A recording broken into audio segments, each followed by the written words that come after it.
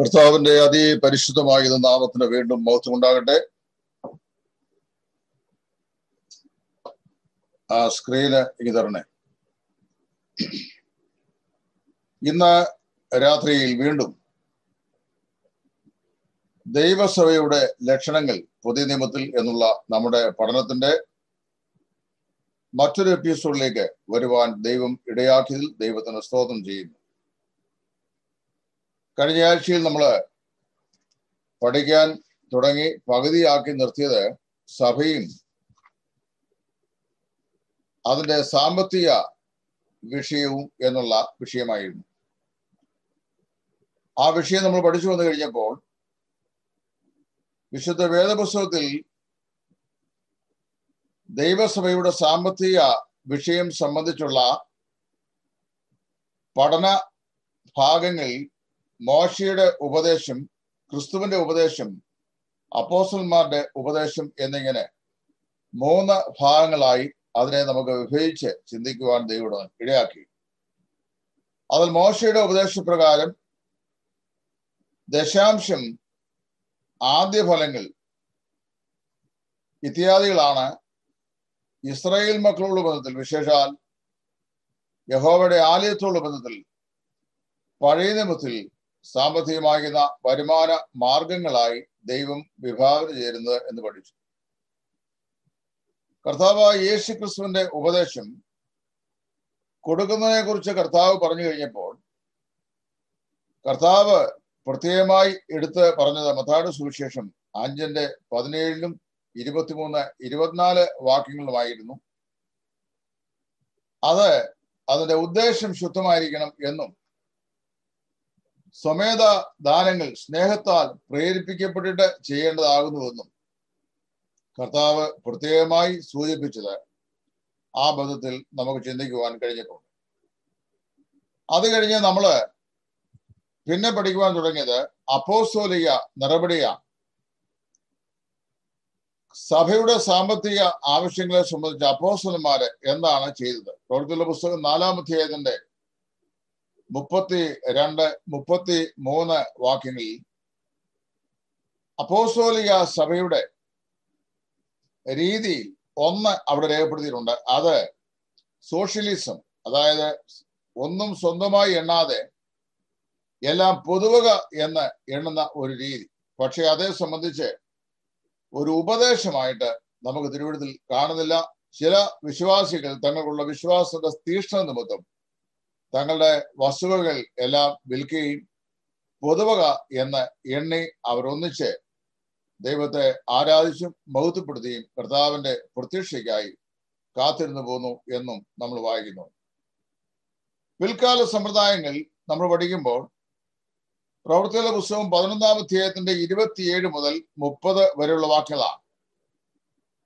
അത് ഈ യഹൂദിയിലെ സഭയുടെ ഉദവിക്കായി ജാതികളുടെ സഭകളിൽ നിന്ന് അപ്പോസലൻ പ്രത്യേകമായ കളക്ഷൻ എടുത്ത് അവരുടെ ആവശ്യങ്ങൾക്ക് വേണ്ടി അത് വിനിയോഗിക്കുന്ന ഒരു ഭാഗമായിട്ടാണ് നമുക്ക് അതിനെ കാണാൻ കഴിയുന്നത്.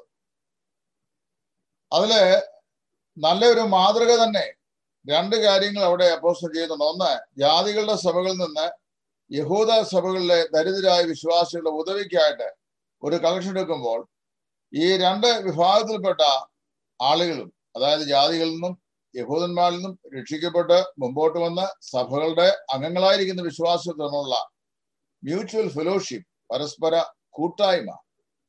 അത് കുറെ കൂടെ ബന്ധം ഇതിന്റെ ഇഴ അടുപ്പിക്കുന്ന ബന്ധമായി അതിനെ കാണേണ്ടതിന് കൂടെ പോലീസ് ചെയ്തു. അതേ സമയത്ത് വിശ്വാസികളുടെ ജീവസന്ധാരണ മാർഗം പൈസയുള്ള അല്ലെങ്കിൽ സാമ്പത്തിക സൗകര്യമുള്ള സഹോദരന്മാരുടെയും കൂടെ കടപ്പാടാകുന്നു എന്നുള്ള ബന്ധത്തിലും നമുക്ക് ചിന്തിക്കുവാൻ സാധിക്കുന്നുണ്ട്.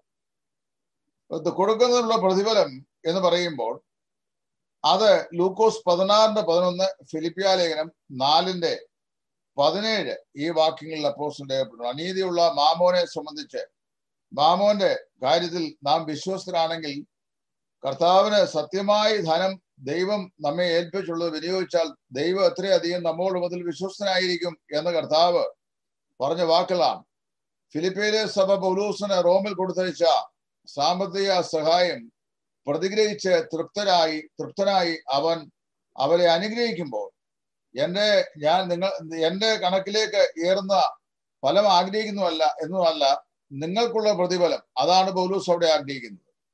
വിശുദ്ധന്മാരെ കർത്താവിന്റെ വേലയ്ക്ക് വേണ്ടി ദൈവസഭയുടെ ആവശ്യങ്ങൾക്ക് വേണ്ടി തങ്ങൾക്കുള്ള ധനശിക്ഷത്തിൽ നിന്ന് ചിലവിടുന്നത് തങ്ങളുടെ സ്വന്തം അക്കൗണ്ട് സ്വർഗത്തിലുള്ള അക്കൗണ്ടിലേക്ക് പണം നിക്ഷേപിക്കുന്നതിന് തുല്യമാകുന്നു എന്നാണ് അപ്പോസ്റ്റലായ പൗലൂസ് അവിടെ പ്രസ്താവിക്കുന്നത്. സ്വർഗത്തിൽ അതിനെ ഏറുന്ന ഏറിയ പ്രതിഫലവും കിട്ടുമെന്ന് മത്തായി ആറിന്റെ പത്തൊൻപത് മുതൽ ഇരുപത്തി ഒന്ന് വരെയുള്ള വാക്യങ്ങളിൽ നമുക്ക് പഠിക്കുവാനായിട്ട് സാധിക്കും. അത്രയും കാര്യങ്ങളാണ് കഴിഞ്ഞ ആഴ്ചയിൽ ചുരുക്കമായി ചിന്തിക്കുവാൻ ദൈവം നമുക്ക് കൃപ നൽകിയത്. അതിന്റെ ബാക്കി ഭാഗം ഇന്ന് ഞാൻ എടുക്കുന്നു. ആ ബാക്കി ഭാഗം കഴിഞ്ഞു കഴിഞ്ഞാൽ പിന്നെ മറ്റു അത് ഇത് അടുത്ത വിഷയത്തിന്റെ ആദ്യ ഭാഗത്തേക്ക് പ്രവേശിക്കുകയും ചെയ്യും. സമയം ഉണ്ടെങ്കിൽ.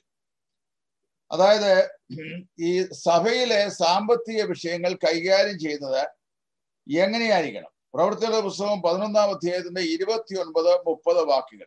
ആ വാക്യം ഞാൻ വായിച്ചു കേൾപ്പിക്കാം. അപ്പോസ്തല പ്രവൃത്തിയുള്ള പുസ്തകം പതിനൊന്നാം അധ്യായത്തിന്റെ ഇരുപത്തിയൊൻപത് മുപ്പത് വാക്യങ്ങൾ. അപ്പോൾ യഹൂദിയിൽ പാർക്കുന്ന സഹോദരന്മാരുടെ ഉദവിക്കായി ശിഷ്യന്മാരിൽ ഓരോരുത്തൻ പ്രാപ്തി പോലെ കൊടുത്തയക്കാൻ നിശ്ചയിച്ചു. അവർ അത് അത് നടത്തി ഭരണദാസിന്റെയും ഷൗലിന്റെയും കയ്യിൽ മൂപ്പന്മാർക്ക് കൊടുത്ത് അയച്ചു. ധനം വിനിയോഗം സഭയിൽ എങ്ങനെയായിരിക്കണം എന്നതിനുള്ള ഒരു വാക്യമാണത്. ഒന്നിലധികം ആളുകൾ അതായത് ഒന്നിലധികം ആളുകൾ ചേർന്ന് സാമ്പത്തിക വിഷയങ്ങൾ അതിന്റെ ക്രയവിക്രയങ്ങൾ കൈകാര്യം ചെയ്യുന്നതാണ് മാതൃകാപരം എന്നാണ് ഈ വാക്യം കൊണ്ട് നമുക്ക് മനസ്സിലാക്കുവാൻ സാധിക്കുന്നത്. ദുഷ്യന്മാർ ഇർഷിലേക്ക് പണം അയച്ചപ്പോൾ എങ്ങനെ ചെയ്തു എന്ന് രണ്ടു കുരുതി എട്ടാം അധ്യായത്തിന്റെ പതിനെട്ട് മുതൽ പത്തൊൻപത് വരെയുള്ള വാക്യങ്ങളിലും അപ്പോസ്റ്റൻ പറഞ്ഞിട്ടുണ്ട്. രണ്ടുപേരെങ്കിലും കുറഞ്ഞ പക്ഷം ജോയിന്റ് ആയിട്ട് ഈ ധനവിനിമയ കാര്യങ്ങൾ കൈകാര്യം ചെയ്യുന്നതാണ് പുതിയ നിയമപ്രകാരം മാതൃക എന്ന ഈ ബന്ധത്തിൽ ഞാൻ ഓർപ്പിക്കട്ടെ.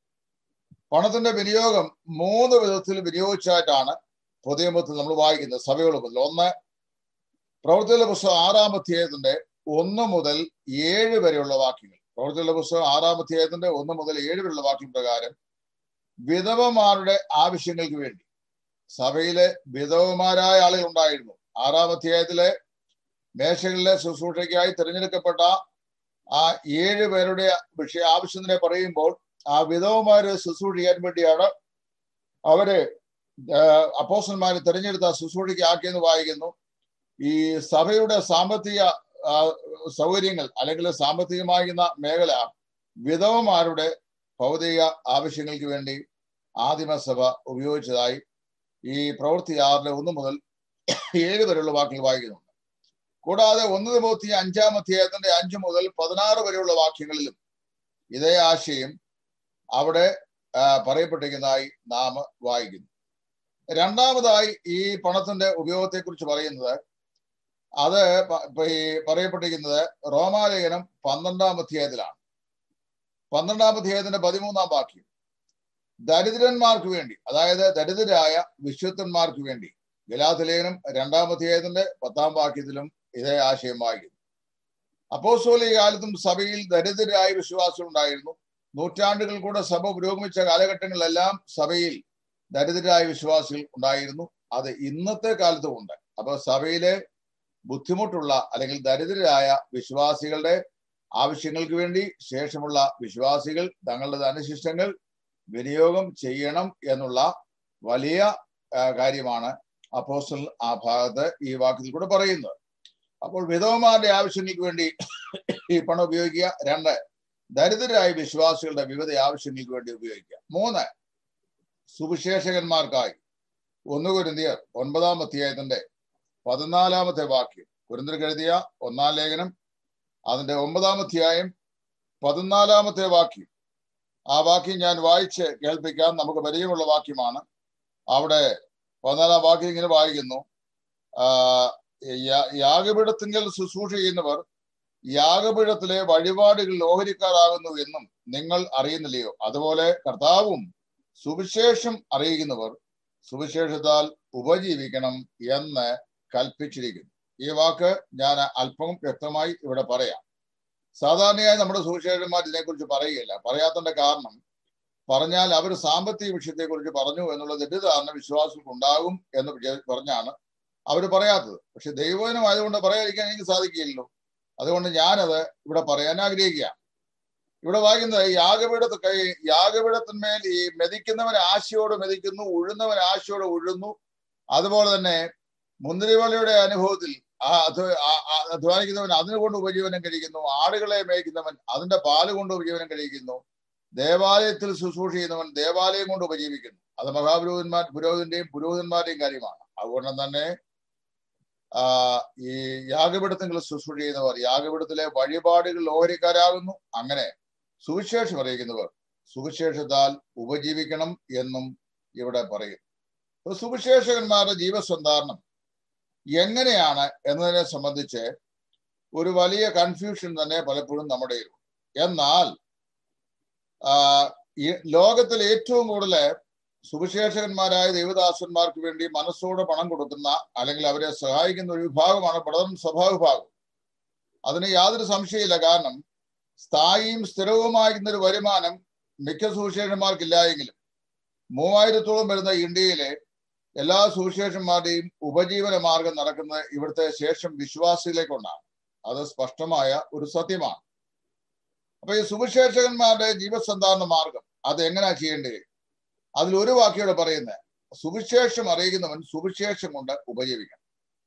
ഗലാത്തി ലേഖനം ആറാം അധ്യായത്തിന്റെ ആറാം വാക്യത്തിലും അപ്പോസ്റ്റൽ ഇതേ വാക്യം പറഞ്ഞു പഞ്ചപ്പെടാതിരിപ്പീൻ ദൈവത്തെ പരിഹസിച്ചുകൂടാ മനുഷ്യൻ വിതയ്ക്കുന്നത് തന്നെ കൊയ്യും. എന്നിട്ട് പറയാണ് വചനം പഠിക്കുന്നവൻ പഠിപ്പിക്കുന്നവന് എല്ലാ നന്മയിലും ഓഹരി കൊടുക്കണം. വചനം പഠിക്കുന്നവൻ പഠിപ്പിക്കുന്നവന് എല്ലാ നന്മയിലും ഓഹരി കൊടുക്കണം. എന്ന് പറഞ്ഞു കഴിഞ്ഞാൽ അവന്റെ ജോലി ഏതാണ്? അവന്റെ അവന്റെ സമർപ്പണം അതാണ് നിങ്ങൾ നമുക്കറിയാമല്ലോ നെഹമ്യാവിന്റെ കാലം വന്നു കഴിഞ്ഞപ്പോൾ അവിടെ ആ നെഹമ്യ ഈ ബാബിയിൽ നിന്ന് മടങ്ങി വന്ന ഇസ്രായേലിയർ മതിലിന്റെ പണിയും പിന്നീടുള്ള ദേവാലയത്തിന്റെ പണിയും ആ മറ്റു കാര്യങ്ങൾ അവരുടെ വീടുകളുടെ നിർമ്മാണവും ഇങ്ങനെയുള്ള കാര്യങ്ങളൊക്കെ ഏർപ്പെട്ട് കഴിഞ്ഞപ്പോൾ അവർ ഈ ലേവ്യരെ സംബന്ധിച്ചുള്ള ദൈവപ്രമാണം അവർ മറന്നുപോയി. ലേവ്യരെ ദൈവപ്രമാണം ലേവ്യർക്ക് ബാക്കിയുള്ള പതിനൊന്ന് ഗോത്രക്കാർ അവർക്കുള്ള ദശാംശം അവർ കൊടുക്കുകയും ആ ദശാംശം കൊണ്ട് ഇവർ ഉപജീവനം കഴിക്കുകയും ചെയ്യണമെന്നാണ്. എന്നാൽ അവരതങ്ങ് വിട്ടു. ആ വിഷയം വിട്ട് ശ്രദ്ധ മാറിപ്പോയി. അതിന്റെ അനന്തര ഫലം എന്ന് പറയുന്നത് ലേവ്യർ ഓരോരുത്തരും താന്താന്റെ തൂമ്പയും മറ്റ് ഉപകരണങ്ങളും എടുത്തുകൊണ്ട് വയലുകളിൽ ജോലിക്കായി പോയി യഹോവയുടെ ആലയത്തിന്റെ ശുശ്രൂഷ അലങ്കോലപ്പെട്ടു എന്നാണ് വായിക്കുന്നത്. അപ്പോൾ അത് വളരെ ഗുരുതരമായൊരു തെറ്റാണെന്ന് നെഹമിയാവിനും എസ്രായിക്കും ബോധ്യമായതുകൊണ്ട്. നമ്മൾ വായിക്കുന്നത് അവനെ ജനത്തെ കൂട്ടിവരുത്തി അവിടെ പറഞ്ഞു നിങ്ങളത് യഹോവയുടെ ആലയത്തിൽ ധാന്യം ഉണ്ടാകേണ്ടതിനും സുഭിക്ഷത ഉണ്ടാകേണ്ടതിനും നിങ്ങൾ എന്ത് ചെയ്യുക? ലേബിയർക്കുള്ള അവകാശം യഹോവയുടെ ആളിലേക്ക് കൊണ്ടുവരട്ടെ എന്ന് പറഞ്ഞ് അങ്ങനെ ഇസ്രായേലിയെ കൊണ്ട് മനഃപൂർവമായി തങ്ങൾക്കുള്ള അവകാശം ഈ ഈ ദശാംശം അവർ ഈ ദൈവ ദേവാലയത്തിലേക്ക് കൊണ്ടുവരപ്പെട്ടു എന്ന് വായിക്കും ഇത് വളരെ അത്യാവശ്യമായ കാര്യമാണ്. നമ്മുടെ മധ്യത്തിൽ എന്ന് പറയുമ്പോൾ നമുക്ക് ഇന്ന് ദശാംശ സമ്പ്രദായമില്ല. അതായത് പെന്തക്കോസ്റ്റൽ സഭകൾ പഠിപ്പിക്കുന്ന പോലെ ദശാംശ സമ്പ്രദായമില്ല. ഇന്ന് ഞാൻ എന്നെ കാനഡയിൽ നിന്ന് ഒരു സഹോദരൻ വിളിച്ചു. അതായത് ഒരു സിലോൺ ബന്ധുക്കൂസ് മിഷനിൽപ്പെട്ട സഹോദരനാണ്. അത് ഇന്നലെ എന്നെ വിളിച്ചു ഇന്നും വിളിച്ചു. അദ്ദേഹത്തെ യൂട്യൂബിലെ മെസ്സേജുകൾ കേട്ട് അദ്ദേഹത്തിന് വളരെയധികം ആത്മീയമായ പ്രയോജനം ഉണ്ടായി ആ കാര്യത്തെക്കുറിച്ച് പറയാൻ വേണ്ടി വിളിച്ചാണ്. പ്രത്യേകിച്ച് രക്ഷയുടെ ഭദ്രത എന്ന് പറയുന്ന വിഷയം ക്രിസ്റ്റൽ ക്ലിയർലി അദ്ദേഹത്തിന് ബോധ്യമാകുവാൻ എന്റെ ക്ലാസ്സിൽ പ്രയോജനപ്പെട്ടു എന്ന് പറയുന്നത് നന്ദി പറയാൻ വിളിച്ചു. അപ്പൊ അദ്ദേഹം സംസാരിച്ചപ്പോൾ പറഞ്ഞു ഞങ്ങളുടെ ഇവിടുത്തെ പാസ്റ്റർ എന്ന് പറഞ്ഞു കഴിഞ്ഞാൽ ഞങ്ങളുടെ ഇവിടുത്തെ ഓരോ വിശ്വാസികളുടെയും ജോലിക്ക് ഓരോരുത്തർക്കും കിട്ടുന്ന ശമ്പളം എത്രയാണെന്ന് അദ്ദേഹത്തിന് അറിയാം. കൃത്യം ഒന്നാം തീയതി ആകുമ്പോൾ ഇതിന്റെ കൃത്യമായ ദശാംശം അത് ഒരു ദിവസം മുമ്പോട്ട് പോയി ചോദിച്ചു വാങ്ങും എന്ന് പറഞ്ഞു. അപ്പൊ അതിനെക്കുറിച്ച് എന്നോട് ചോദിച്ചു ഞാൻ പറഞ്ഞു ദശാംശം ലേവിയ സമ്പ്രദായമാണ് ഇസ്രായേലിയ സമ്പ്രദായമാണ് മോശിക സമ്പ്രദായമാണ് പുതിയ നിയമസഭയിൽ ദശാംശം എന്നൊന്നില്ല. അത് തന്നെയല്ല ദശാംശം പാസ്റ്റർക്കും അല്ല കൊടുക്കുന്നത്. അത് ദേവാലയത്തിലാണ് കൊടുക്കുന്നത്. ദേവാലയത്തിൽ കിട്ടുന്ന ഈ പണം ദേവാലയത്തോട് ബന്ധപ്പെട്ട് ശുശ്രൂഷ ചെയ്യുന്ന ശുശ്രൂഷകന്മാരുടെ ഭൗമിക ആവശ്യങ്ങൾക്ക് വേണ്ടി. അതായത് ലേവർക്ക് കൊടുക്കുന്ന ദശാംശം ലേവ്യരുടെ കൈ കൊണ്ട് കൊടുക്കുകയല്ല ചെയ്യുന്നത്. യഹോവയുടെ ആലയത്തിൽ വരികയും അവിടെ നിന്ന് അവർ ഈ ലേവ്യർക്ക് അവരുടെ ഉപജീവനത്തിനായിട്ട് അത് കൊടുക്കുകയാണ് ചെയ്യുന്നത്. അങ്ങനെ വരുമ്പോൾ ഇന്ന് സുവിശേഷകന്മാരായ ദേവദാസന്മാരുടെ സാമ്പത്തിക ആവശ്യങ്ങൾക്ക് നമ്മൾ സ്വീകരിക്കേണ്ട ശക്തമായ വചനപ്രകാരമുള്ള നിലപാടെന്താണെന്ന് ഇപ്പൊ ഞാൻ പറയാൻ പോകുന്നത്. ഇത് കേൾക്കുമ്പോൾ ഫണ്ട് അധികൃതർ ആരെങ്കിലും ഉണ്ടെങ്കിൽ എന്നോട് വിരോധം തോന്നരുത് കാര്യം. പണ്ട് തിരുവട്ട കൃഷ്ണൻകുട്ടി അവൾ പറഞ്ഞ പോലെ ഫണ്ടുകൾ വചനവിരുദ്ധമാണ്. എന്നാൽ നിലവിലുള്ള സ്ഥിതിക്ക് എനിക്കും കൂടെ തരണം എന്ന് അദ്ദേഹം പറഞ്ഞ പോലെ. വചനപ്രകാരമുള്ള കാര്യമല്ല ഈ ഫണ്ടുകൾ എങ്കിലും നിലവിലിരിക്കുന്ന വ്യവസ്ഥ മറ്റൊന്നല്ലാത്തതുകൊണ്ട് നമ്മൾ അതിന്റെ ഗുണഭോക്താക്കളായിരിക്കുന്നു എന്ന് മാത്രമേ ഉള്ളൂ. സുവിശേഷ വേലയ്ക്ക് വേണ്ടി ശുശ്രൂഷ ചെയ്യുന്ന ദൈവദാസന്മാരായ ശുശ്രൂഷകന്മാരെ പ്രൈമറിലി അവരുടെ ഉത്തരവാദിത്വം ഏറ്റെടുക്കേണ്ടത് അവർ ബന്ധപ്പെട്ട് നിൽക്കുന്ന പ്രാദേശിക സഭയാണ്. നമ്മുടെ സഭകൾക്കെല്ലാം ഒരു ദോഷമുണ്ട്. എല്ലാ സഭകൾക്കും അല്ല മിക്ക സഭകൾക്കും. ചില അപൂർവ സഭകൾ മാതൃകയുള്ള സഭകളുണ്ട്. എനിക്കറിയാം മധുരതാങ്കൂറിലെ ഒരു വലിയ സഭ അവരുടെ സഭയിൽ നിന്ന് വിവിധ സ്ഥലങ്ങളിൽ കർത്താവിന് വിലയുന്ന പതിനാല് സുവിശേഷകന്മാർക്ക് മാസം തോറും യോഗ്യമായിരുന്ന ഒരു എമൗണ്ട് അവരുടെ ഭൗതിക ആവശ്യങ്ങൾക്ക് വേണ്ടി ഡിപ്പോർട്ട് ചെയ്യുന്നതായി എനിക്കറിയാം. ആ സഭ ഇന്നുവരെ ഞാൻ സന്ദർശിച്ചിട്ടില്ല. എന്നാൽ അവിടുത്തെ ബന്ധപ്പെട്ട സഹോദരന്മാര് സംസാരമധ്യയോട് പറഞ്ഞ അപ്പോൾ പ്രാദേശിക സഭ ചെയ്യേണ്ടത് ഒരു പ്രാദേശിക സഭയുടെ ജോലി ഒരു സുവിശേഷകനെ ശുശ്രൂഷയ്ക്കായി കമന്റ് ചെയ്തിട്ട് ഫണ്ടുകാരെ ഏൽപ്പിക്കുകയല്ല. ഫണ്ടുകാരെയും കർത്താവിനെ ഏൽപ്പിക്കുകയല്ല. പണ്ട് ഈ ഓർത്തഡോക്സുകാരുടെ യാക്കോബക്കാരുടെ ഇടയിൽ എന്റെ അമ്മയൊക്കെ ഓർത്തഡോ ഈ യാക്കോബ കുടുംബത്തിൽപ്പെട്ട ആൾക്കാരാണ് മെഴു മെഴുവേലിക്കാരാണ് എന്റെ അപ്പനൊക്കെ മാർത്തോമക്കാരുമാണ് എന്നാൽ അമ്മയൊക്കെ ഈ മാർത്തോമായിലേക്ക് വിവാഹം കഴിച്ചു കൊണ്ടുവന്ന ശേഷവും ഈ യാക്കോബ ചർച്ചിലുണ്ടായിരുന്ന ചില പാരമ്പര്യങ്ങൾ വെച്ച് പുലർത്താൻ ഞാൻ കണ്ടിട്ടുണ്ട്. നോയമ്പ് നോക്കുക നേർച്ച നേരുക നേർച്ച കൊടുക്കുക ഇങ്ങനെയുള്ള ചില കാര്യങ്ങളൊക്കെ. ഇതൊക്കെ യാക്കോബക്കാരുടെ പാരമ്പര്യങ്ങളാണ്. അപ്പൊ അതിൽ ഈ പണ്ട് കാലത്ത് നമ്മുടെ വീട്ടിലെ അമ്മച്ചിമാർ ഈ കോഴിയെ ഇരുപത്തിയൊന്നോ ഇരുപതോ മുട്ട ഒരു കോഴിയുടെ ചിറകിന്റെ കീഴിൽ വെച്ച് അതിനെ വിരിക്കും. വിരിച്ച ശേഷം ഈ കോഴി അതിന്റെ കുഞ്ഞുങ്ങളുമായിട്ട് അതിനെ പറമ്പിലിറങ്ങി അത് ആഹാരം കൊത്തി കുഞ്ഞുങ്ങളെ ഫീഡ് ചെയ്യും. ഫീഡ് ചെയ്യുന്ന സമയത്ത് ചില ചില ചിറങ്ങാലി പുള്ളോ പരുന്തോ ഒക്കെ കുഞ്ഞുങ്ങളെ പിടിക്കാൻ വരും. വരുമ്പോൾ ഈ തള്ളക്കോഴി വലിയൊരു ശബ്ദം ഉണ്ടാക്കുക ആ ശബ്ദം ഉണ്ടാക്കുമ്പോൾ ഈ കോഴി കുഞ്ഞുങ്ങൾ ഒന്നുകിൽ എവിടെങ്കിലും കയറി ഒളിക്കും അല്ലെങ്കിൽ ഇതിന്റെ ചിറകിൽ വന്ന് ഒളിക്കും. അങ്ങനെയൊക്കെ ആണെങ്കിലും മിടുക്കം പുള്ളാണെങ്കിൽ ഒരെണ്ണത്തിനെ റാഞ്ചിക്കൊണ്ട് പോകും. പക്ഷെ ഈ കോഴി വിരിഞ്ഞ് മുട്ട വിരിഞ്ഞ് ഈ തള്ളക്കോഴിയും കൊണ്ട് ഈ പറമ്പിൽ ഇറക്കി കഴിയുമ്പോൾ ഈ വീട്ടിലെ അമ്മച്ചി ഒരു നേർച്ച അങ്ങ് നേരും. അതിൽ ഒരു കോഴിക്കുഞ്ഞിനെ ഗീവർ യൂസ് പുണ്യപാളത്തിന്റെ കാര്യം അദ്ദേഹത്തിന്റെ ജോലിയാണ്. ഈ അവരുടെ ഇടയിൽ ഒരുപാട് പുണ്യാളന്മാരുണ്ടല്ലോ. നമ്മുടെ ഇടയിൽ ആയതുകൊണ്ട് നമുക്കത് പറയാം. അവരുടെ പറഞ്ഞാൽ അവർക്ക് പിന്നെ വൈകാരികമായ പ്രയാസം ഉണ്ടാകും. ചാഴി സ്പെഷ്യലിസ്റ്റ് മുതൽ കോഴി സ്പെഷ്യലിസ്റ്റ് വരെയുള്ള ഏതാണ്ട് പതിമൂന്നോളം പുണ്യവാളന്മാരുണ്ട്. അതിൽ ഒരാളാണ് ഗീവർഗി സഹിത. അദ്ദേഹത്തിന്റെ ജോലി നല്ലൊരു ശുശ്രൂഷകനായിരുന്നു. കോഴി നോക്കുക കോഴിയെ നോക്കുക നേർച്ചകൾ മുടക്കിയാൽ പാമ്പിനെ അയച്ച് റിമൈൻഡ് ചെയ്യുക ഇതൊക്കെയാണ് അദ്ദേഹത്തിന്റെ ജോലി എന്നാണ് ഇദ്ദേഹം ഇവരിപ്പോ വിശ്വസിക്കുന്നത്. അപ്പൊ ഒരെണ്ണത്തിന് ഗീവറീസ് പുണ്യപാലനം നേരും നേർന്നു കഴിഞ്ഞാൽ പുള്ളു വന്നാലും പരുന്ത് വന്നാലും ഈ കോഴിക്കുഞ്ഞുങ്ങളെ സൂക്ഷിക്കുന്ന ജോലി ഗീവറീസ് പുണ്യവാളന്റെ ആണ് ഈ ഇടയ്ക്കെങ്ങാണ്ട് ഒരെണ്ണം പുള്ളി റാഞ്ചിക്കൊണ്ട് പോയി കഴിഞ്ഞാൽ ആർക്ക് പോയി? പുണ്യകാലനുള്ളത് പോയി എന്ന് ഈ അമ്മച്ചിമാർ പറയുമായിരുന്നു എന്നാണ് നമ്മുടെ ചില സഭകളും അങ്ങനെ ചെയ്യുന്നത് സുവിശേഷകന്മാരായ ആളുകളെ വേലയ്ക്കായി വേർന്നു കഴിഞ്ഞാൽ കമന്റ് ചെയ്തിട്ട് ഫണ്ടുകാരെ ഏൽപ്പിക്കും പിന്നെ വിദേശ സഭകളുടെ സഹോദരന്മാരെ ഏൽപ്പിക്കും. പിന്നെ ഇവർ ആശ്വാസത്തോട് പറയും ദൈവം വിളിച്ചവരെ ദൈവം അങ്ങ് നടത്തിക്കൊള്ളുക ദൈവം വിളിച്ചവരെ ദൈവം നടത്തുന്നത് നൂറ് ശതമാനം ദൈവത്തിന്റെ ഡ്യൂട്ടിയാണ് റെസ്പോൺസിബിലിറ്റി അതിന് ദൈവത്തിന് ഒരിക്കലും ഭംഗം വരികയില്ല. വിളിച്ച് ദൈവമാണ് വിളിച്ചെങ്കിൽ ദൈവം നടത്തും. അത് യാതൊരു സംശയമില്ല എന്നാൽ പ്രാദേശിക സഭയ്ക്കാണ് ഒരു സുവിശേഷകന്റെ സുവിശേഷ വേലയുടെ ഏറ്റവും സുപ്രധാനമാകുന്ന ഉത്തരവാദിത്വം. അപ്പൊ ഈ പ്രാദേശിക സഭ എന്ത് ചെയ്യണം? പ്രാദേശിക സഭയുടെ പ്രമാണങ്ങൾ പറയുമ്പോൾ ഒന്ന് വരുത്തി ഒമ്പത് പതിനാല് പറയുകയാണ് അവിടെ തന്നെ സുവിശേഷം അറിയിക്കുന്നവൻ സുവിശേഷം കൊണ്ട് ഉപജീവനം കഴിക്കണം എന്നും ആകുന്നു കൽപ്പിച്ചിരിക്കുന്നു. കൽപ്പിച്ചിരിക്കുന്നു എന്നാ പറയുന്നത്. ആര് കൽപ്പിച്ചിരിക്കുന്നു? കർത്താവ് കൽപ്പിച്ചിരിക്കുന്നു. അപ്പൊ കർത്താവ് കൽപ്പിച്ചിരിക്കുന്നു എന്ന് പറയുന്ന വിഷയം ഇവിടെ പൗലോസ് എടുത്തു പറയുകയാണ്. അപ്പൊ കർത്താവ് അങ്ങനെ എവിടെയെങ്കിലും നിങ്ങൾ സുവിശേഷം അറിയിക്കുന്നവർ സുവിശേഷം കൊണ്ട് ഉപജീവിക്കണം എന്ന് എവിടെയെങ്കിലും കൽപ്പിച്ചായ സുവിശേഷങ്ങൾ നമ്മൾ വായിക്കുന്നില്ല. ഈ വാങ്ങുന്നതിനേക്കാൾ കൊടുക്കുന്ന ഭാഗ്യമെന്ന് യേശുദാൻ പറഞ്ഞ വാക്ക് ഓർത്ത ഒരു രംഗം പൗലൂസ് പറഞ്ഞിട്ടുണ്ട്. പക്ഷെ നാല് സുവിശേഷങ്ങളിലും വാങ്ങുന്നതിനേക്കാൾ കൊടുക്കുന്നതാണ് ഭാഗ്യമെന്ന് യേശു പറഞ്ഞതായിട്ട് സുവിശേഷന്മാർ രേഖപ്പെടുത്തിയിട്ടില്ല. അതുപോലെ സുവിശേഷം അറിയിക്കുന്നവർ സുവിശേഷത്താൽ ഉപജീവിക്കണം എന്ന് സുവിശേഷങ്ങൾ എവിടെയെങ്കിലും കർത്താവ് പറഞ്ഞതായിട്ട് നമ്മൾ വായിക്കുന്നില്ല. പക്ഷെ അങ്ങനെ കർത്താവ് പറഞ്ഞിട്ടുണ്ട്. ആ കാര്യം കൊരിന്തിരക്കൽ എങ്ങനെ എഴുതുമ്പോൾ പരിശുദ്ധാത്മാവ് പൗലൂസിനെ ഓർപ്പിച്ചു. അപ്പോസല പ്രവർത്തിയുടെ ഒരു വേളയിൽ ഈ വാങ്ങുന്നതിനേക്കാൾ കൊടുക്കുന്നത് ഭാഗ്യം എന്നുള്ള ഒരു പ്രത്യേക അത് മുതൽ വന്നു കഴിഞ്ഞപ്പോൾ പൗലോസിനെ പരിശുദ്ധാത്മാവ് ഓർപ്പിച്ചു. എങ്ങനെയാന്ന് ചോദിച്ചാൽ പൂർവകാലങ്ങളിൽ കർത്താവ് പറഞ്ഞതോ പ്രവാചകന്മാർ മുഖാന്തരം ചെയ്തതായ പല കാര്യങ്ങളും പിന്നീട് നാം ഒരു പക്ഷെങ്കിൽ നമുക്കത് അവർ പറഞ്ഞ പോലെ രേഖപ്പെടുത്താത്ത ചില കാര്യങ്ങൾ പിന്നീടാണ് രേഖപ്പെടുത്തിയിട്ടുള്ളത്. ഉദാഹരണം പറഞ്ഞു കഴിഞ്ഞാൽ ഹാനോക്ക് ദൈവം ഈ ഭൂമിയിലെ ദുഷ്ടന്മാരായ ആളുകളെ അഭക്തന്മാരായ ആളുകളെ വിധിക്കാനായിട്ട് ആയിരം ആയിരം ദൂതന്മാരുമായി സ്വർഗത്തിൽ നിന്ന് ഇറങ്ങി വരുന്നു ഹാനോക്കുമുണ്ട്. ആദാം മുതൽ ഏഴാമനായി ഹാനൂക്ക് പ്രവചിച്ചു എന്ന് യൂതയുടെ ലേഖനത്തിൽ യൂത പറഞ്ഞിട്ടുണ്ട്. ഹാനോക്ക് ആദാം മുതൽ ഏഴാം തലമുറക്കാരനാ. ഏഴാം തലമുറക്കാരനായ ഹാനോക്ക് അങ്ങോട്ട് പ്രവചനം ചെയ്തായി ഉൽപ്പത്തി പുസ്തകത്തിൽ എങ്ങും നമ്മൾ വായിക്കുന്നില്ല. വിശ്വാസാൽ ഹാനോക്ക് ദൈവത്തോട് നടന്നു. ദൈവം അവനെ എടുത്തുകൊണ്ട് നല്ല കാണാതായി എന്നുള്ള പിന്നെ അവന്റെ ചരിത്രമൊന്നും അവിടെ രേഖപ്പെടുത്തിയിട്ടില്ല.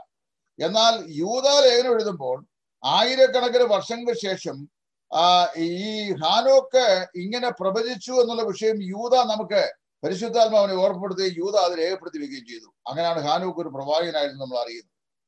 എന്ന് പറഞ്ഞ പോലെ സുവിശേഷം അറിയിക്കുന്നവൻ സുവിശേഷത്താൽ ഉപജീവിക്കണമെന്ന് യേശു കൽപ്പിച്ചിട്ടുണ്ട്. ആ കാര്യം സുവിശേഷങ്ങൾ കാണുന്നില്ല. പക്ഷേ പൗലോസിന് പരിശുദ്ധാത്മാവ് കുരുതലേഖനം എഴുതുമ്പോൾ അത് വെളിപ്പെടുത്തി കൊടുത്തു. താൻ അത് ഇവിടെ രേഖപ്പെടുത്തുന്ന അതുകൊണ്ട് തന്നെ സുവിശേഷം അറിയിക്കുന്നവർ സുവിശേഷത്താൽ ഉപജീവിക്കണം എന്നും കൽപ്പിച്ചിരിക്കുന്നു. അപ്പോൾ സുവിശേഷം അറിയിക്കുന്ന ദൈവദാസന്മാര് നിങ്ങൾ അവർ വേറെ വല്ല പണിയും പോയി ചെയ്യരുതോ? അല്ലെങ്കിൽ അവർക്ക് എന്തെങ്കിലുമൊക്കെ അധ്വാനിച്ച് കാര്യങ്ങൾ നടക്കരുതോ? അല്ലെങ്കിൽ എങ്ങനെയാണ് സഭയെന്തിനാ ഇവർ സഭയെന്തിനാ ഭാരപ്പെടുന്നത്? ഇതൊന്നും നമ്മൾ ചോദിക്കാൻ പാടില്ല. ഈ കാര്യത്തിൽ ഏറ്റവും ഉന്നതമായ സ്ഥാനത്ത് നിൽക്കുന്നത് സിലോൺ ബന്ധുക്കോസ് മിഷൻ എന്ന് പറയുന്ന ദി ബന്ധുക്കോസ് മിഷൻകാരും ഇവിടുത്തെ പെന്തക്കോസ് സഭകളുമാണ്. അവരുടെ പാസ്റ്റേഴ്സ് ബുദ്ധിമുട്ടാൻ സാമ്പത്തികമായി ബുദ്ധിമുട്ടുവാൻ ഒരു വിശ്വാസിയും അനുവദിക്കുകയില്ല. കാരണം അവരുടെ എല്ലാ ചെലവുകളും ഇവിടുത്തെ എല്ലാ ചെലവുകളും കൃത്യമായി ഈ പാസ്റ്റേഴ്സ് ഉള്ളത്. അവിടുത്തെ വിശ്വാസികൾ ക്രമ കൃത്യമായും ക്രമമായും കൊടുക്കും. അവരുടെ ആവശ്യങ്ങൾ നടക്കും. അവർ സ്വസ്ഥമായി തങ്ങളുടെ ശുശ്രൂഷകളും ചെയ്യും. അപ്പോൾ ഇവിടെ നമ്മുടെ സഭകൾ ചെയ്യേണ്ട ഏറ്റവും അതിപ്രധാനമായ വിഷയം സഭയുടെ സാമ്പത്തികമാണ് നമ്മൾ പഠിച്ചുകൊണ്ടിരിക്കുന്നത്. അതുകൊണ്ട് സഭയിൽ സുവിശേഷകന്മാരായ ദൈവദാസന്മാരെ പ്രഥമമാകുന്ന ഉത്തരവാദിത്വം പ്രാദേശിക സഭകൾ ചെയ്യണം.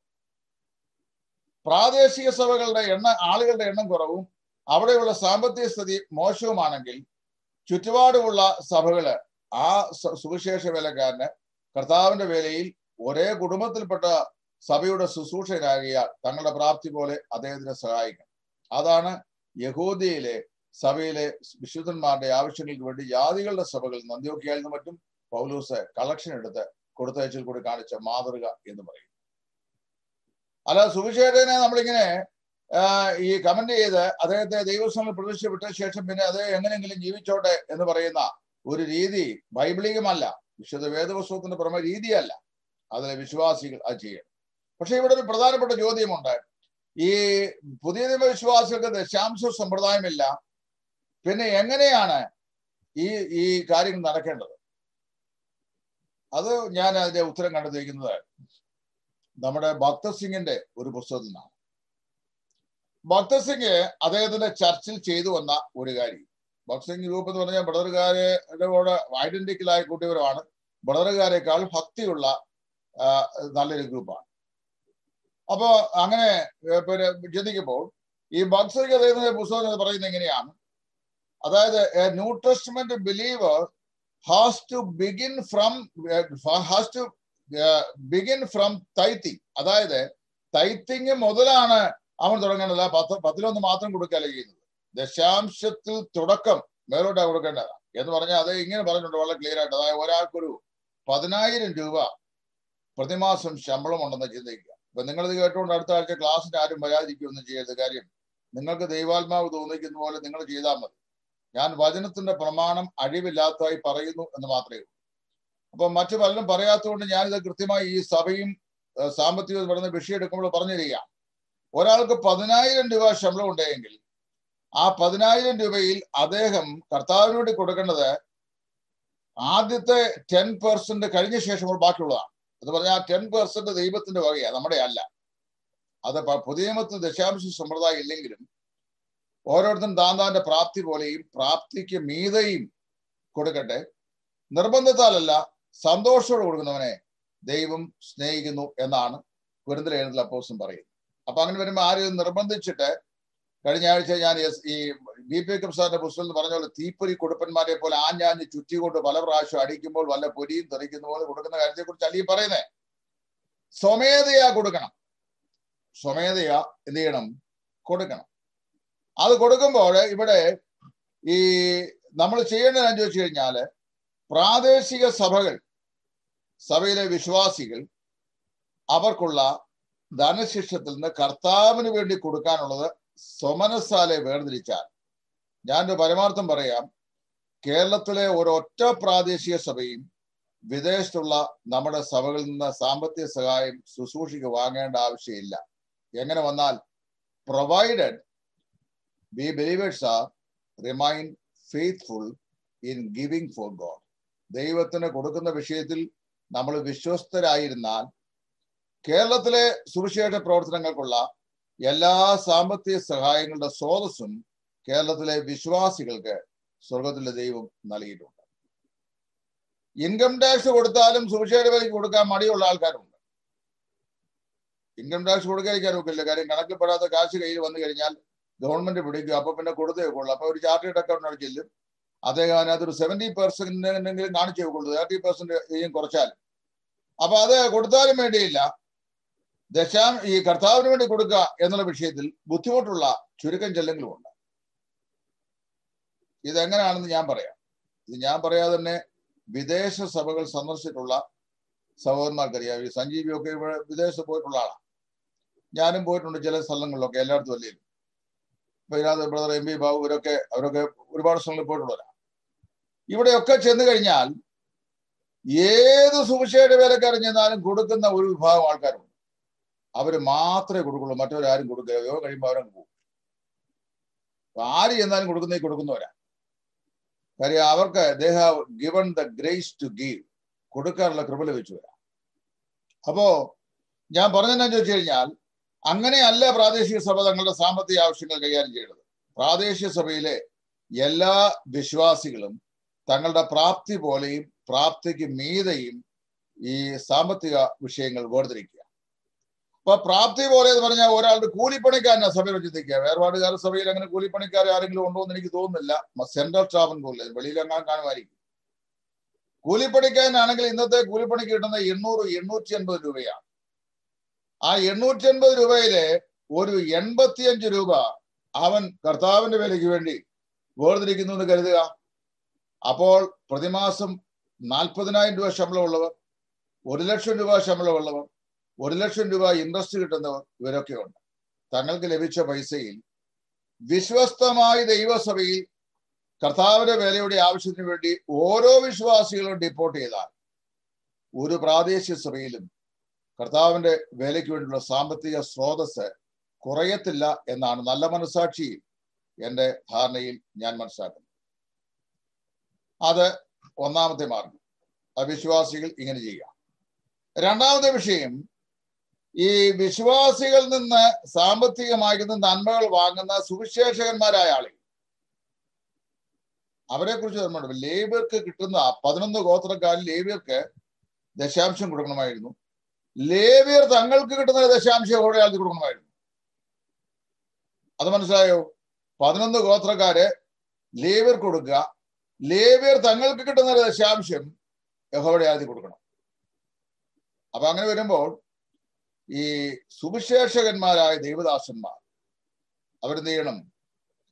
തങ്ങൾക്ക് കിട്ടുന്ന സാമ്പത്തിക നന്മയുടെ ഒരു പങ്ക് തങ്ങളെക്കാൾ താഴെയുള്ള അല്ലെങ്കിൽ ആവശ്യക്കാരായ സുവിശേഷകന്മാരായ ദൈവദാസന്മാർക്ക് കൊടുക്കാൻ ഒരു മനസ്സ് ഉണ്ടാകണം. ഞാൻ വളരെ ബുദ്ധിമുട്ടുണ്ടായിരുന്ന കാലഘട്ടങ്ങളിൽ ഇങ്ങനെ കൃത്യമായി ചെയ്തിരുന്നില്ല. എന്റെ കാര്യം ഞാൻ പറയാം എനിക്ക് വേറെ എല്ലാവരുടെയും കാര്യം പറയാൻ അവകാശമില്ലല്ലോ. വളരെ ബുദ്ധിമുട്ടുണ്ടായിരുന്ന കാലത്ത് ഞാൻ അങ്ങനെ ചെയ്തിരുന്നില്ല. കാര്യം കഴിഞ്ഞാൽ ചെയ്യാൻ എനിക്ക് സാധിക്കില്ല ഭാര്യയും രണ്ട് കുഞ്ഞുങ്ങളും ഒക്കെ ഉണ്ടായിരുന്നു. ജീവിച്ചു പോകാൻ വലിയ ബുദ്ധിമുട്ടുള്ള സമയം ഉണ്ടായിരുന്നു. അന്ന് എന്തെങ്കിലുമൊക്കെ ഈ തീപ്പൊരി കൊടുപ്പിന്റെ കൊണ്ട് വല്ലതും കാണും ഒന്ന് കൊടുത്തേ ഉള്ളൂ.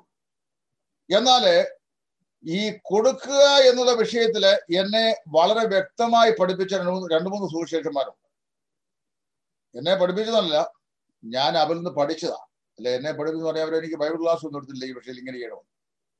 അവർ ചെയ്തത് എന്താന്ന് ഞാൻ പറയാം. അതിലൊന്ന് ഇന്ന് നിത്യതയിൽ വിശ്രമിക്കുന്ന ബി ടി. മത്തായിച്ചാന ബി ടി. മത്തായിച്ചാൻ കോട്ടയം പുള്ളിയെ നമുക്ക് എല്ലാവർക്കും അറിയാമല്ലോ. അദ്ദേഹം ഇന്ന് നിത്യതയിലാണ്. അദ്ദേഹത്തിൽ നിന്നാണ് ഒരു കാര്യം പഠിച്ചിട്ടുള്ളത്. അദ്ദേഹത്തിന്റെ ഇന്നൊരു നൂറ് രൂപയെങ്കിലും ഒരു മണി ഓർഡർ വാങ്ങിക്കാത്ത സുവിശേഷന്മാര് ഇന്ത്യയിൽ വളരെ കുറവായിരിക്കും. താനത് വളരെ നിശബ്ദമായി ചെയ്യുമായിരുന്നു ഞാൻ തന്നിട്ടുണ്ട്. ഞാൻ വായിച്ചിട്ടുണ്ട് രണ്ടാമത്തെ ആളാണ് തിരുവട്ടാറാർ കൃഷ്ണൻകുട്ടി അവർ എന്ന് പറയുന്ന ആൾ.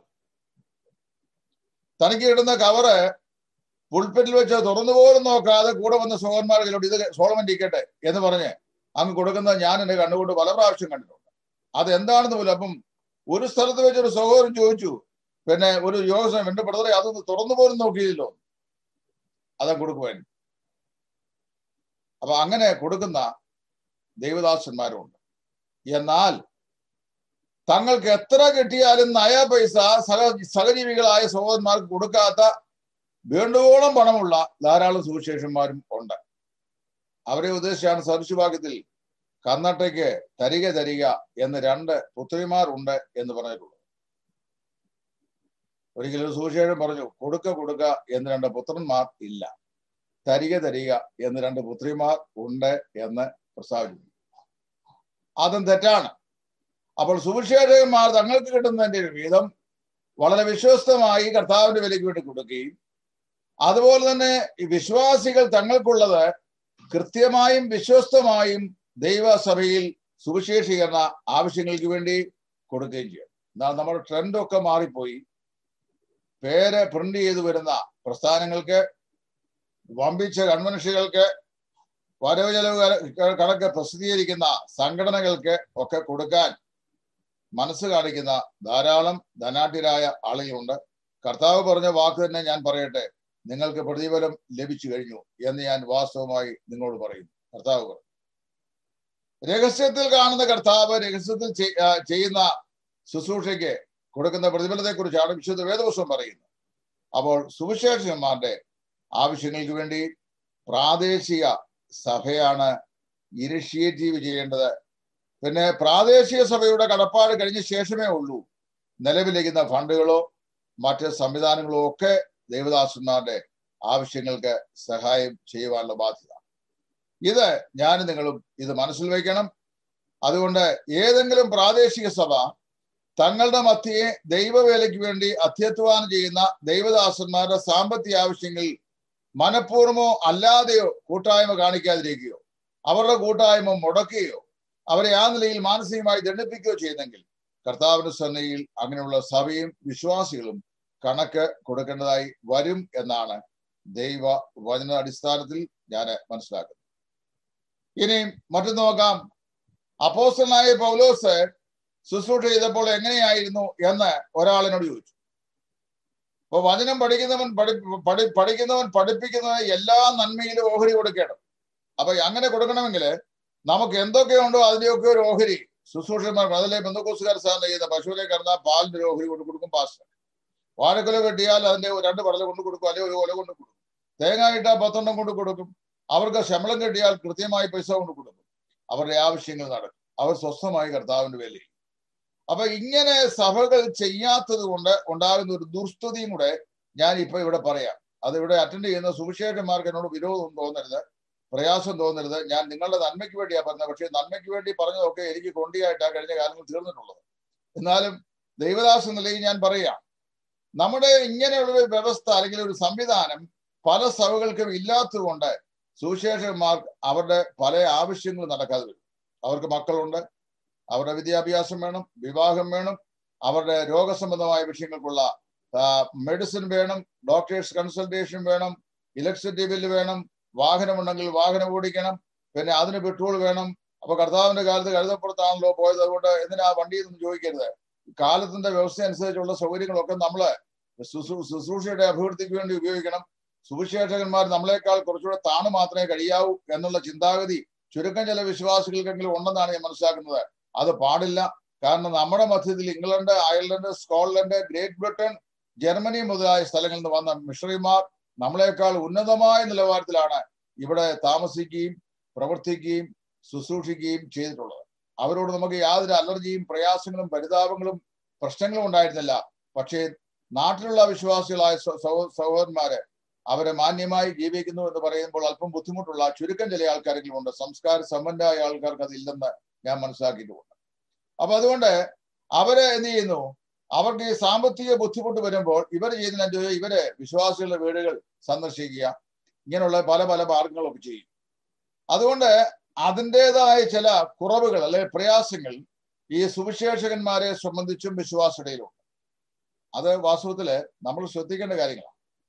വളരെ ഞെരുക്കമുണ്ടെങ്കിലും ആവശ്യമില്ലാതെ ഒരാളുടെ വീട്ടിൽ കയറി സന്ദർശിക്കാൻ പോകാതിരിക്കുന്നതാണ് നല്ലതെന്നാണ് ഞാൻ മനസ്സിലാക്കുന്ന ഇന്ന് വരെ ഞാൻ ശീലിച്ച പാഠവും അത് തന്നെയാണ്. അപ്പോൾ വളരെ അപൂർവമായ വീടുകൾ സന്ദർശിക്കാറുണ്ട്.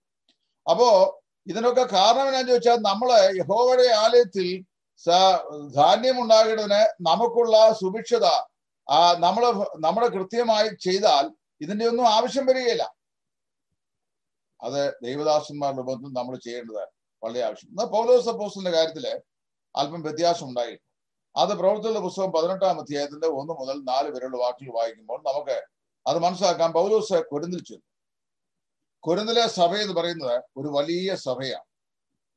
ജാതികളുടെ അംഗസംഖ്യ കൂടുതലും യഹൂദന്മാരിൽ നിന്ന് വന്നിട്ടുള്ള ആളുകൾ കുറവുമായി ഒരു വലിയ പട്ടണത്തിലെ സഭയാണ് കൊരിന്തിലെ സഭ. നമ്മളിവിടെ കോട്ടയം പട്ടണം പോലെയോ അല്ലെങ്കിൽ പത്തനംതിട്ട ടൗൺഷിപ്പ് പോലെയോ തിരുവല്ല ടൗൺഷിപ്പ് പോലെയൊക്കെ ഉള്ള ടൗണിലെ ഒരു സഭയാണ്. അവിടെയുള്ള ആളുകൾ നല്ലൊരു പങ്ക് ധനാട്ടന്മാരെ ആളുകൾ അന്നത്തെ കാലത്ത് സാമ്പത്തിക സൗകര്യമുള്ള ആളുകളാണ്. പക്ഷെ ഈ സഭയ്ക്ക് കർത്താവിന്റെ വേല ചെയ്യുന്ന ദൈവദാസിന് വല്ലതും കൊടുക്കുന്ന കാര്യത്തെക്കുറിച്ച് യാതൊരു സുബോധം ഉണ്ടായിരുന്നില്ലെന്നാണ് കുരുതലേനം വായിക്കുമ്പോൾ നമുക്ക് പഠിക്കാൻ കഴിയും. പൗലോസ് കൊരുന്തിലെ താമസിക്കുന്ന സമയത്ത് അഖില ബ്രിസ്കില്ല എന്ന് പറയുന്ന ആളുകൾ അവിടെ ഉണ്ടായിരുന്നു. അവരെ കൂടാരപ്പണി ചെയ്യുന്ന ആളുകളായിരുന്നു. പൗലോസ് തന്നെ തനി തനിക്ക് വേണ്ടിയും തന്റെ കൂടെയുള്ള സഹപ്രവർത്തകരായ ആളുകളുടെയും അഹോവൃത്തിക്ക് വേണ്ടി സ്വന്തം കൈകൊണ്ട് അധ്വാനിച്ച് കൂടാരപ്പണി ചെയ്തു പോന്നു. തൊഴിലൊന്നും ആയതുകൊണ്ട് ഒന്നാകൊണ്ട് അവർ ഒരുമിച്ച് കൂടാരപ്പണി ചെയ്തു പോന്നു എന്നാണ് നമ്മൾ വായിക്കുന്നത്. അപ്പൊ കൊരന്തിൽ പൗലൂസ് പ്രവർത്തി പ്രവർത്തിക്കുക പ്രവർത്തിക്കുമ്പോൾ തന്നെ തന്റെ ഉപജീവന മാർഗത്തിന് വേണ്ടി എന്ത് ചെയ്യുക? കൈകൊണ്ട് അധ്വാനിച്ച് കൂടാരപ്പണിയിൽ വ്യാപൃതനാകും. അവിടുന്ന് കിട്ടുന്ന ചില്ലറ കൊണ്ട് തന്റെ ആവശ്യങ്ങളും തന്റെ കൂടെയുള്ള ആൾക്കാരുടെ ആവശ്യങ്ങളും നടക്കും. അപ്പൊ വിശ്രമരഹിതമായി അദ്ദേഹം അധ്വാനിക്കുന്ന ആളായിരുന്നു. എന്നാൽ തെസ്ലോണിക്കയിലെ സഹോദരന്മാർ കുരുന്നിൽ വരെ അദ്ദേഹം ആയിരിക്കുമ്പോൾ ഒന്ന് രണ്ട് പ്രാവശ്യം തന്റെ ബുദ്ധിമുട്ടിന് സാമ്പത്തിക സഹായം കൊടുത്തയച്ചു. റോമിലായിരുന്ന സമയത്ത് ഫിലിപ്പയിലെ സഭയും അത് കൊടുത്തയച്ചു. എന്നാൽ കുരുന്നിലെ സഭ എന്തെങ്കിലും കൂട്ടായ്മ കൊടുത്തിട്ടില്ല എന്ന് പൗലോസിന്റെ വാക്കുകൾ തന്നെ നമുക്ക് വ്യക്തമാകും അല്ലയോ കുരുന്നിരെ ഞാൻ നിങ്ങളുടെ ഇടയിൽ ശുശ്രൂ കർത്താവിന് ശുശ്രൂഷ ചെയ്താലേ നിങ്ങൾ ആർക്കെങ്കിലും ഞാൻ ഭാരമായതിനുണ്ടോ എന്ന് ചോദിക്കുമ്പോൾ ഇവരിൽ ഒരുത്തൻ പോലും നായാ പൈസ ഒരു സഹായം ഈ പൗലോസിന്റെ ശുശ്രൂഷയ്ക്ക് കൊടുത്തിട്ടില്ല എന്നുള്ളതാണ് പൗലോസ് പറയുന്നത്. നെഗേഷൻ ആണ് അവിടുത്തെ സ്റ്റേറ്റ്മെന്റ് വാസ്തവത്തിൽ വായിക്കുമ്പോൾ എനിക്ക് നാണക്കേട് തോന്നി കുരുന്നിരെ സംബന്ധിച്ച് പൗലൂസ് പറയുമ്പോൾ. എന്തെല്ലാം കൃപാവരം ഉണ്ടായിട്ടെന്ന് പ്രയോജനം ഒന്നാം അധ്യായത്തിന്റെ ഏഴാം വാക്കിൽ പറയുന്ന ഇങ്ങനെ നിങ്ങൾ ഒരു കൃപാവരത്തിലും കുറവില്ലാത്തവരായി നമ്മുടെ കർത്താവായ യേശു ക്രിസ്തുവിന്റെ പ്രത്യക്ഷതയെ കാത്തിരിക്കുന്നു എന്നാണ്. എല്ലാ കൃപാവരവും ഉണ്ട്. പ്രസംഗിക്കാൻ മിടുക്കനുമാണ്. ഗ്രൂപ്പിസം ഉണ്ടാക്കാനുള്ള ശേഷിയുള്ളവരാണ്. നാല് ഗ്രൂപ്പുകാർ അവിടെ ഉണ്ട്. പിന്നെ കോടതി വ്യവഹാരത്തിനും മറ്റെല്ലാ പ്രശ്നങ്ങൾക്കും പോകുന്ന ആളുകളാണ്. ചന്തയിൽ നിന്ന് മാംസമൊക്കെ മാറ്റി കഴിക്കുന്ന ഒരു കാര്യം അവിടെ എട്ടും ഒമ്പതും അധ്യായങ്ങൾ അതേക്കുറിച്ചൊക്കെ പറഞ്ഞിട്ടുണ്ട്. വിഗ്രഹങ്ങൾക്ക് അർപ്പിച്ചതിനെ വാങ്ങി ഭക്ഷിച്ചതിനെ കുറിച്ച് എന്നൊക്കെ പൈസയുള്ളവരാ. കർത്താവിന്റെ വേല ചെയ്യുന്ന ദൈവദാസന് കൊടുക്കാൻ മാത്രം നായ പൈസയില്ല. പൗലൂസ് സ്വന്തം കൈകൊണ്ട് അധ്വാനിച്ച് ശുശ്രൂഷിക്കും അപ്പൊ ഇത് വരുമ്പോൾ ഞാനിവിടെ ഒരു കൺഫ്യൂസിങ് ആളുടെ സ്റ്റേറ്റ്മെന്റ് പറയാം. അപ്പൊ പല ആളുകൾ എന്നോട് എന്റെ ഈ ഈ സോഷ്യൽ മീഡിയയിൽ സംശയിക്കുന്ന യാക്കോബ് പറഞ്ഞ ഒരു ഒരു ചോദ്യോത്തര പങ്കുണ്ട്. ഇപ്പൊ എനിക്ക് ടൈപ്പ് ചെയ്യാൻ കൈയുടെ വെല്ലിന്റെ പ്രയാസം ഉള്ളതുകൊണ്ട് കമ്പ്യൂട്ടറിന്റെ കീബോർഡ് തൊടുമ്പോൾ ഭയങ്കര വേദന അതുകൊണ്ട് ഞാൻ ആ ഗ്രൂപ്പ് ഇങ്ങനെ അവിടെ ഉണ്ടെന്നുള്ളതേ ഉള്ളൂ. എനിക്ക് എഴുതിയിടാൻ വയ്യ. ആരെയും കിട്ടുമ്പോൾ ഞാൻ പറഞ്ഞു കൊടുത്താൽ ചിലപ്പോൾ ടൈപ്പ് ചെയ്യും. അല്ലെ നല്ല ചോദ്യങ്ങൾ ഉത്തരങ്ങൾ എടുത്തിട്ട് പത്തഞ്ഞൂറ് ചോദ്യോത്തരം കിടപ്പുണ്ട് ഇംഗ്ലീഷും മലയാളം അപ്പൊ അതിനകത്ത് എന്നോട് ചില ആൾക്കാർ ചില ചോദ്യങ്ങൾ ചോദിച്ചു ചോദിക്കും. സുവിശേഷകന്മാര് ഫുൾ ടൈം സുവിശേഷം എന്ന് പറഞ്ഞാൽ ട്വന്റി ഫോർ അവേഴ്സ് അവർ ജോലി ചെയ്യുന്നുണ്ടോ. എന്നോട് ഒരാൾ ചോദിച്ച ചോദ്യ സഭയും സുവിശേഷകനും ജീവസന്താനവുമായി ഒരു വിഷയം. അപ്പോ ട്വന്റി ഫോർ അവേഴ്സ് ജോലി എന്ന് ഞാൻ പറഞ്ഞ സഹോദര ട്വന്റി ഫോർ അവേഴ്സ് ജോലി ലോകത്തിൽ സെക്യുലർ ഫീൽഡിൽ പോലും ഇല്ലല്ലോ. എയ്റ്റ് അവർ ജോലിയാ സാധാരണ എല്ലാ രാജ്യങ്ങളും ഉള്ളത്. പിന്നെ ആർക്കെങ്കിലും ഓവർ ടൈം ചെയ്യണമെങ്കിൽ അത് ഓവർ ടൈം കാശ് വേണമെന്നുണ്ടെങ്കിൽ അത് ചെയ്യുന്നവർ കാണും. അല്ലെങ്കിൽ റെഗുലർ ടൈം എന്ന് പറയുന്നത് എയ്റ്റ് അവറാണ് അപ്പൊ ഈ ഫുൾ ടൈം എന്ന് അപ്പോൾ ജോലി എയ്റ്റ് അവർ ജോലി ചെയ്യുന്ന എത്ര പേരുണ്ട്? ഞാൻ പറഞ്ഞു ഞാൻ ഒരാളുണ്ട്. പതിമൂന്ന് മണിക്കൂർ വരെ ഞാൻ ജോലി ചെയ്യുന്നുണ്ട്. എവിടെ ചോദിച്ചാൽ സോഷ്യൽ മീഡിയ അല്ല. കാര്യം എനിക്ക് പുറത്തിറങ്ങിയപ്പോൾ അങ്ങ് അതിൽ ന്യൂസ് ചെയ്യാൻ ഒക്കെയുണ്ട് അപ്പൊ അതുകൊണ്ട് ഇന്ന് ഇന്ന് തന്നെ എന്ത് എത്ര ഫോൺ കോൾ ഞാൻ അറ്റൻഡ് ചെയ്തിട്ടായിരിക്കുന്നത് സംശയങ്ങൾ ചോദിക്കാൻ ആൾക്കാർ വിളിക്കുന്ന ഓരോ വിഷയങ്ങൾ പറയാൻ വേണ്ടി. ഇപ്പൊ ഞാൻ ഈ ക്ലാസ് കയറിയപ്പോൾ ഒരാൾ കാരനായിരുന്നു വിളിച്ചു. അപ്പൊ ഞാൻ അദ്ദേഹത്തെ പത്തേകാൽ കഴിഞ്ഞ് വിളിക്കാൻ പറഞ്ഞ് വിളിച്ചിട്ടാണ് വിളിക്കുന്നത്. ബ്രദർകാരല്ല കേട്ടോ. അത് പ്രത്യേകം ഓർക്കണം. അപ്പം അതുകൊണ്ട് എന്റെ ശുശ്രൂഷ കൂടുതലും പ്രയോജനപ്പെടുന്ന ബന്ധുക്കോസുകാരാണ് അവരാണ് ഏറ്റവും കൂടുതൽ എന്നെ എതിർക്കുന്നത്. അപ്പൊ ഞാൻ പറഞ്ഞത് ഇവിടെ ഈ അങ്ങനെയുള്ള വിഷയങ്ങൾ വരുമ്പോൾ ഈ പൗൽ സുവിശേഷകന് തന്റെ ഉപജീവന മാർഗത്തിന് വേണ്ടി കൈകൊണ്ട് അധ്വാനിച്ചുകൂടെ പൗലൂസും മറ്റും അങ്ങനെ കൈകൊണ്ട് അധ്വാനിച്ചിട്ടുണ്ടല്ലോ എന്നോട് പല ആൾക്കാർ ചോദിച്ച ചോദ്യം. ഞാൻ ഉത്തരം പറയാം. ഒരു സുവിശേഷ വേലക്കാരൻ കർത്താവിന്റെ വേലക്കാരനായി പൂർണ സമയം വേർതിരിഞ്ഞ് ഫലകരമായി അദ്ദേഹം വിശ്വസ്തയോട് അധ്വാനിക്കുന്ന ദേവദാസാണെങ്കിൽ അദ്ദേഹത്തിന്റെ സഭ അദ്ദേഹത്തിന്റെ പ്രാദേശിക സഭ അദ്ദേഹത്തിന്റെ ഭൗതിക ആവശ്യങ്ങളുടെ ഉത്തരവാദിത്വം ഏറ്റെടുത്തു കഴിഞ്ഞാൽ അദ്ദേഹം സഭയോട് ഉത്തരവാദിത്വവും വിധേയത്വവും ഉള്ളവനായി സമ്പൂർണമായും മറ്റു ജോലികളിൽ ഏർപ്പെടാതെ തന്റെ ശുശ്രൂഷകൾ ചെയ്ത് മുമ്പോട്ട് പോവുകയും ആ ശുശ്രൂഷകൾ കൊണ്ട് തന്റെ പ്രാദേശിക സഭയ്ക്ക് ഒരു അനുഗ്രഹം ആയി തിരികെയും ചെയ്യണം. ഇതാണ് അതിന്റെ ഒന്നാമത്തെ വ്യവസ്ഥ. രണ്ടാമത്തെ വ്യവസ്ഥ പറയുന്നത് പ്രാദേശിക സഭ കാക്കയുടെ കൂട്ടിൽ കുയിൽ കാക്ക കാക്കക്കൂട്ടി കുയിൽ കൊണ്ട് മുട്ടയിട്ടിച്ച് കുയിൽ ഓടിപ്പോയതുപോലെ.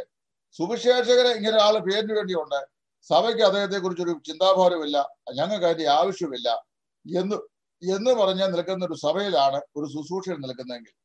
അവന് ഉപജീവന മാർഗം ആവശ്യമുണ്ട് ജീവിക്കാൻ മാർഗം ആവശ്യങ്ങളുണ്ടല്ലോ. അവൻ അഭിമാനബോധമുള്ളവനാണെങ്കിൽ ആരോടും ഇരക്കുകയോ ചോദിക്കുകയോ ചെയ്യുകയില്ല. അപ്പൊ അവർ ജീവിക്കുകയും ചെയ്യണം. അവന് ഏതെങ്കിലും തൊഴിൽ ചെയ്തുകൊണ്ട് കർത്താവിന് വില ചെയ്യുന്നതിൽ യാതൊരു തെറ്റുമില്ലെന്നാണ് ഞാൻ മനസ്സിലാക്കുന്നത്.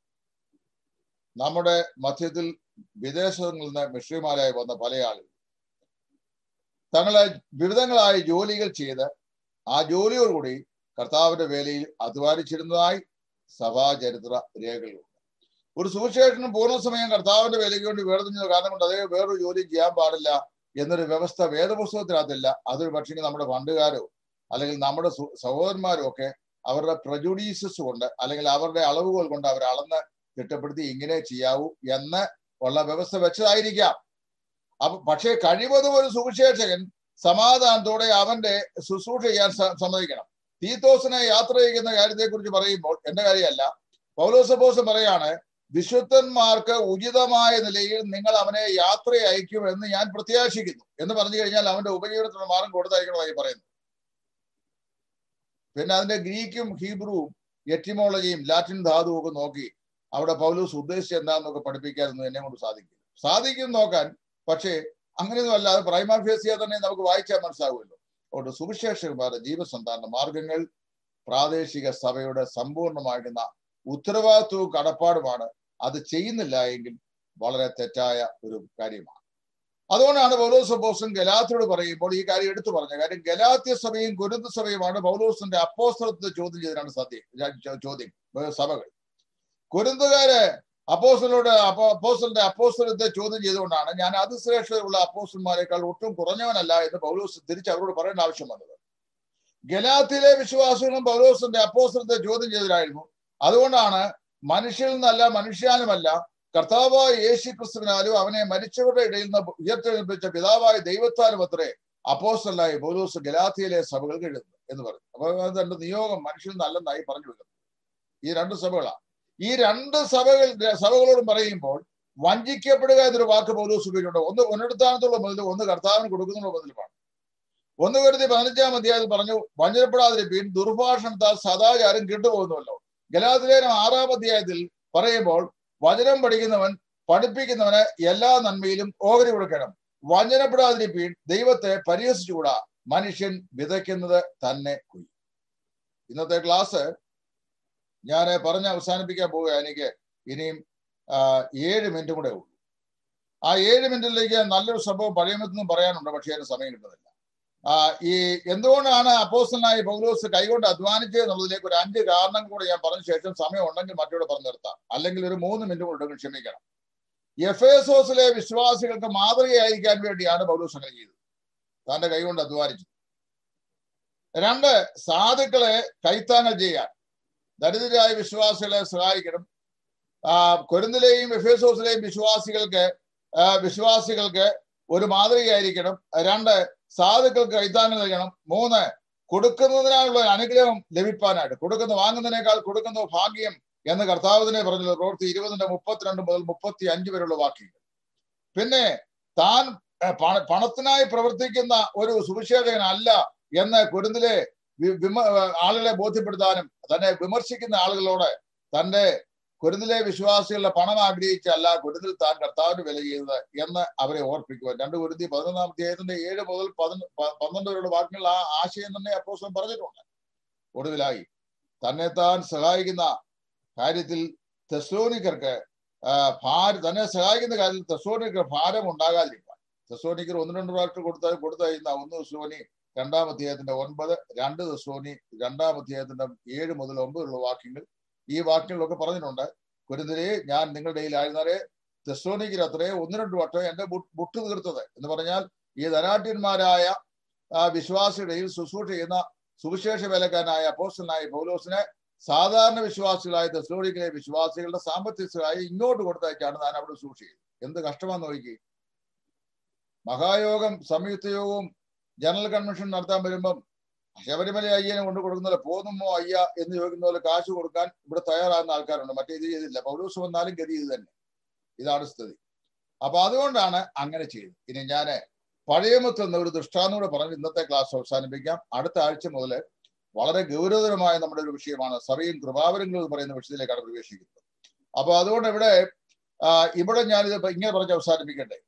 ഉൽപ്പത്തി പുസ്തകം അതിന്റെ പതിനെട്ടാം അധ്യായത്തിൽ നമ്മൾ വായിക്കുന്ന അബ്രഹാം മമ്രയുടെ തോപ്പിലേക്ക് മമ്രയുടെ തോപ്പിലേക്കുമ്പോൾ മൂന്ന് പുരുഷന്മാർ ആ വഴിയായി ആ മൂന്ന് പുരുഷന്മാരിൽ രണ്ടുപേര് സോതോമിന് വരുവാൻ പോകുന്ന നാശത്തെ കുറിച്ച് സോതോമെ ലോത്തിനെ അറിയിക്കണം. ലോത്തിനെയും കുടുംബത്തെയും വിടുവിക്കുവാൻ ദൈവത്തോട് ഇറങ്ങി വന്നവരും മൂന്നാമത്തെ ആൾ സാക്ഷാൽ ദൈവം തന്നെയുമായിരുന്നു. യഹോവയോ അബ്രഹാമിനോടുകൂടെ കൂടാരത്തിൽ നിന്നു എന്ന് പറയുമ്പോൾ മൂന്നാമത്തെ ആൾ യഹോവയായിരുന്നു എന്ന് അവിടെ തന്നെ സ്പഷ്ടം.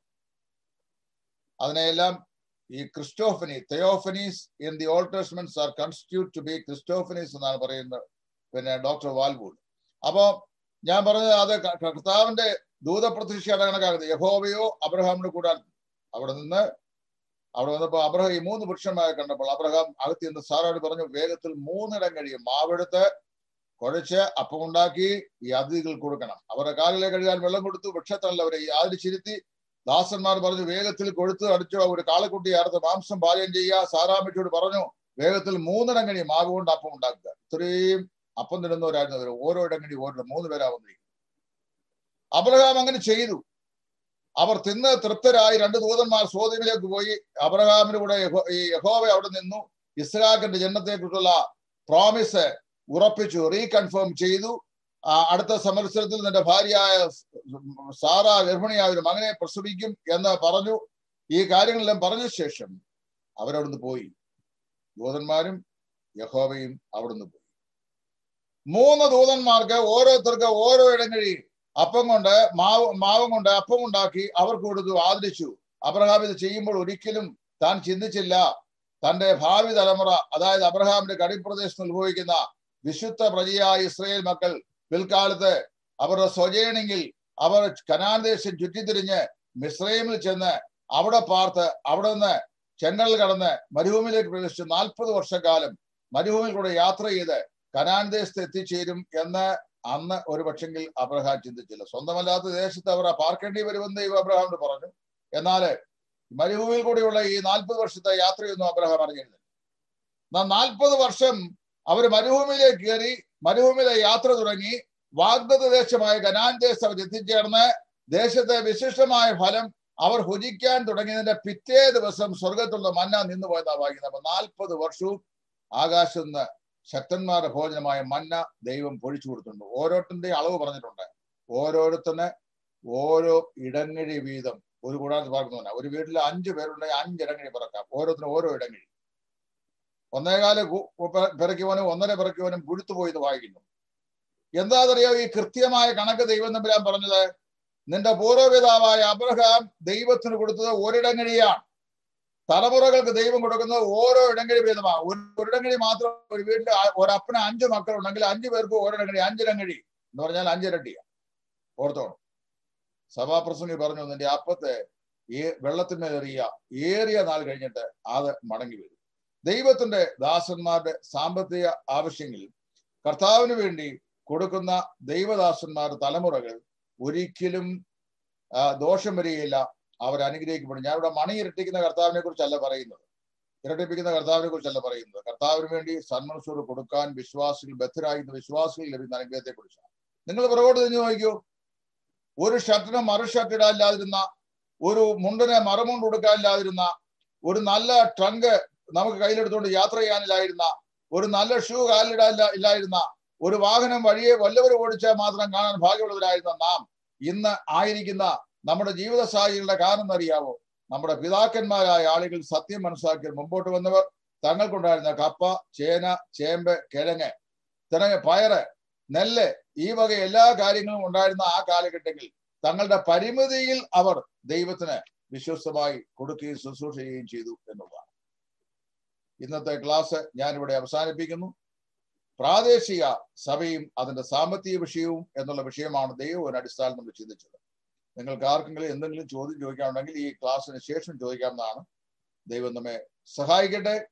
ദൈവ വചനപ്രകാരം പ്രാദേശിക സഭയുടെ എല്ലാ സാമ്പത്തിക ആവശ്യങ്ങളും പ്രാദേശിക സഭയിൽ തന്നെയാണ് ഉണ്ടാകുന്നത് വിശ്വാസികളാണ് അവ സുലഭമായി അത് സമൃദ്ധിയായി ഇങ്ങനെയുള്ള ആവശ്യങ്ങൾ കൊടുക്കേണ്ടത്.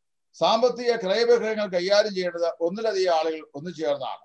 അത് വളരെ സൂക്ഷ്മതയോടും വിശ്വസതയോടും കൂടി ചെയ്യേണ്ടതാണ്. കാര്യം ഒന്ന് കൊണ്ട് നാലാമത്തെ പറയുമ്പോൾ നാം ദൈവത്തിന്റെ കാര്യസ്ഥന്മാർ കാര്യവിചാരകന്മാരാകുന്നു എന്ന് അപ്പോസം പറയുന്നുണ്ട് കാര്യവിചാരം എന്ന് ഉപയോഗിക്കുന്ന വാക്കിന്റെ സ്റ്റുവാർഡ് എന്നാണ് പറയുന്നത്.